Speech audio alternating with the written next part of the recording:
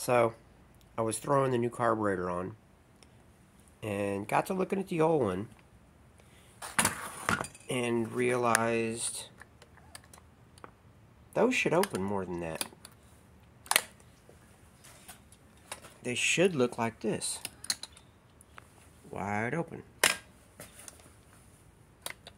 Not so much. The linkage was bent right here. So for the last six months, all the 6,000 RPM pulls and one tire fires were with about half throttle. What's going to happen when that mother, when that one goes in? Boy, oh boy.